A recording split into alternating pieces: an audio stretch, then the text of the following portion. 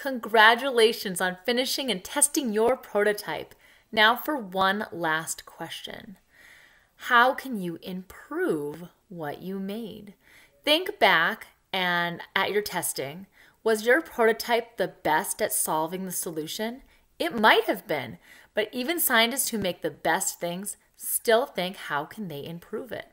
So go ahead and look at your prototype and think what is one way you can improve it to make it even better and have your parents help and type the answer below.